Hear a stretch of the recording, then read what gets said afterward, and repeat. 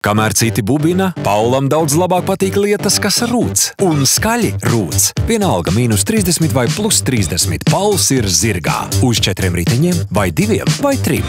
Benzīna galvām, elektrogalvām un tiem, kam vējš galvā. Uz šosejas, ūdenī vai gaisā, ja tas kustas uz priekšu, Paulam tas ir izaicinājums. Bet tev tas viss pogas spiediena attālumā. Saturīgs vietējais saturs LMT viettelevīzijā. LMT